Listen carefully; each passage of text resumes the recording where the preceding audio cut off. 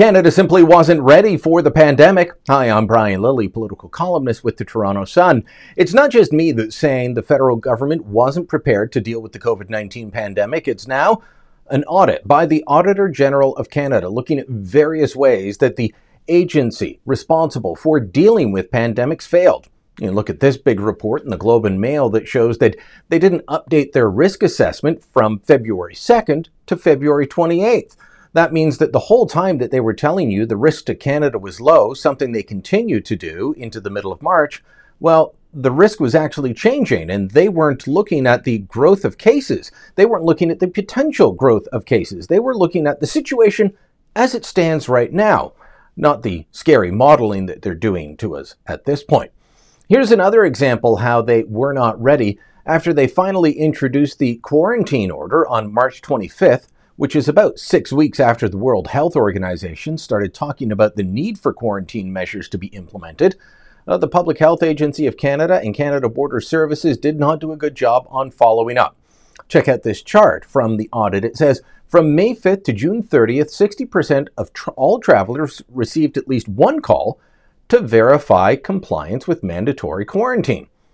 But only 54% of them were verified as complying with quarantine, while 46% were either not compliant or not reached by the agency. That's 45% they didn't get a hold of. Only 40% of those found to be not compliant were referred to law enforcement, and they had no way to follow up and find out what law enforcement did. How many of the cases that we had come into Canada, that we had spread across the country, resulted from shoddy quarantine measures? Now, some of us started calling for better border screening and quarantine as early as January 27th. That would be two days after the first case was reported and the day the first case here in Toronto was confirmed by public health authorities. That's the first day that one of my columns showed that very thing. But back in those days, we were called all kinds of names. We were told that border screening or restrictions or quarantine were not necessary. In fact, it was counterproductive uh, early analysis shows that the places that shut down borders sooner did better. The places that screened effectively performed better.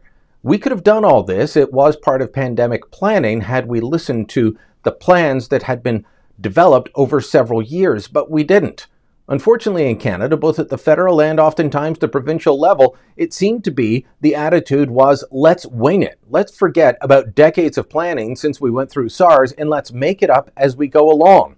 And unfortunately, that's where we still are. Our results are not the worst in the world, far from it, but they're not as good as they could have been. And while that may sound like an academic exercise of saying, well, we could have done better here or there, it also means lives lost. It means businesses crushed. It means opportunities missed. All of that continues to haunt us here in Canada and will until we're through this pandemic with or without the vaccines slowly arriving on our shores.